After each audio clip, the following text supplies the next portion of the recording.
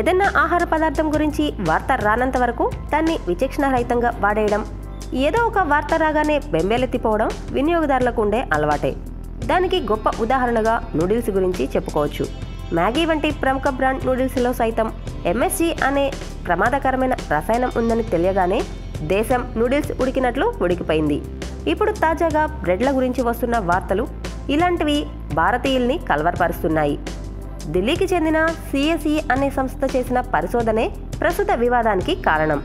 CSE చెబుతున్న వివరాల ప్రకారం ఢిల్లీలో సేకరించిన దాదాపు ముప్పై ఎనిమిది రకాల బ్రెడ్ నమూనాలలో దాదాపు ఎనభై నాలుగు శాతం నమూనాలలో ప్రమాదకరమైన పొటాషియం బ్రోమైడ్ అయోడైడ్ అనే పదార్థాలు కనిపించాయి. ఈ నమూనాలు ఎక్కడో మారుమూలలో ఉన్న బేకరీలోంచి సేకరించినవి కాదు. బ్రిటానియా దగ్గర నుంచి కేఎఫ్సి వరకు ప్రముఖ బ్రాండ్లకు సంబంధించిన నమూనాలు కూడా ఈ పరీక్షలో తేలిపోయాయి. బ్రెడ్ కోసం కలిపిన పిండి చక్కగా సాగేందుకు బ్రెడ్ ఉబ్బెద్దుగా వచ్చేందుకు మంచి రుచితో ఉండేందుకు ఈ పదార్థాలను వాడతారు. నిజానికి బ్రెడ్ లేదా బేకరీ పదార్థాల తయారీలో వీటిని వినియోగించకూడదన్న చట్టమేమీ మన దేశంలో లేదు. కాకపోతే ఒక మోతాదు మేరకు వీటిని వాడాలన్న నిబంధనలు మాత్రం ఉన్నాయి. ఉదాహరణకు బ్రెడ్ తయారీలో ఫిఫ్టీ పీపీఎం వరకు ఈ పదార్థాలను వాడవచ్చన్న నిబంధన ఉంది. ఆ నిబంధన ప్రకారమే తాము బ్రెడ్లను ఉత్పత్తి చేస్తున్నామని ఉత్పత్తిదారులు చెబుతున్నారు. అసలు సమస్య ఏంటంటే ఉత్పత్తిదారులు చెబుతున్న మాట వాస్తవమే. బ్రెడ్ తయారు చేసే సమయంలో పొటాషియం బ్రోమైడ్ను కలిపినా కూడా ఉత్పత్తి దశలో అది పొటాషియం బ్రోమైడ్గా మారిపోతోంది. బ్రోమైడ్ ఏమంతా హానికరమైన పదార్థం కాదు. కానీ అలా జరగకపోవడమే అసలు సమస్య.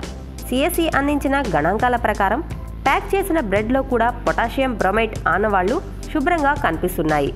బ్రెడ్ను ఉత్పత్తి చేసే సమయంలో లోపాలు ఉండడం బ్రెడ్ మరింత ఉబ్బెత్తుగా కనిపించడం కోసం కకుర్తిపడి ఎక్కువ పాళ్ళు కలపడంతో మన చేతిలో ఉండే బ్రెడ్లో కూడా బ్రోమైట్ ఉంటుంది. బ్రోమైట్ గురించిన భయాలు ఈనాటివి కాదు. బ్రోమైట్ ఒక క్యాన్సర్ కారకమంటూ దశాబ్దాల తరబడి పరిశోధనలు చెబుతున్నాయి. కిడ్నీ థైరాయిడ్ వంటి అనేక క్యాన్సర్లకు ఇది కలిగించే ప్రమాదం ఉందంటూ నివేదికలు స్పష్టం చేస్తున్నాయి. అందుకనే ఆస్ట్రేలియా మొదలుకొని బ్రెజిల్ వరకు దీనిని ఆహార పదార్థాల తయారీలో వాడొద్దంటూ నిషేధించారు. అంతదాకా ఎందుకు మన పక్కనే ఉన్న శ్రీలంక చైనాలలో సైతం ఈ నిషేధం అమల్లో ఉంది. కానీ నిరంతరం తన నిర్ణయాల కోసం అమెరికా వైపు చూసే మన దేశం మాత్రం అక్కడిలాగా ఇక్కడ కూడా బ్రోమైడ్ గురించి చూసి చూడనట్లు ఉండిపోతుంది. ఇక అయోడైట్ గురించి కూడా ఇలాంటి భయాలే ఉన్నాయి. థైరాయిడ్ పనితీరుని అయోడైట్ దారుణంగా ప్రభావితం చేస్తుందన్నమాట వినిపిస్తోంది. బ్రోమైడ్ క్యాన్సర్ కారకం అన్నమాట నిజమే కానీ దాన్ని ఎలా ఏ స్థాయిలో తీసుకుంటే క్యాన్సర్ కారకమో అనే విషయం మీద స్పష్టత లేదు. పైగా ఇక మనం బ్రెడ్ ఉత్పత్తిలో బ్రోమైడ్ను నిషేధిస్తామంటూ food safety standards association of India ప్రకటించింది. దీంతో ప్రస్తుతానికి ఈ వివాదానికి తెరపడినట్లే. కానీ మొన్నటి వరకు నూడిల్స్ ఇప్పుడు బ్రెడ్కి సంబంధించిన వివాదాలతో మనకు ఓ పాఠం తెలిసొచ్చినట్లయింది. ఆరోగ్యకరమైన అందుబాటులో ఉండే పండ్లు కూరగాయలు వంటి ఆహారాన్ని కాదని బద్ధకంతోనో జీవహ చాపల్యంతోనో గొప్ప కోసమో కృత్రిమమైన ఆహారం మీద ఆధారపడితే అది ఎప్పటికైనా ఎలాగైనా ఆరోగ్యానికి నష్టం కలిగించక మానదు. మరమరాల దగ్గర నుంచి మినప బజ్జీల వరకు మన సాంప్రదాయకమైన ఆహారాలు ఇన్ని ఉండగా పాశ్చాత్య దూరణల కోసం పాకులాడితే బొక్కబొర్ల పడక తప్పదు మరి. For interesting more updates, please subscribe our channel.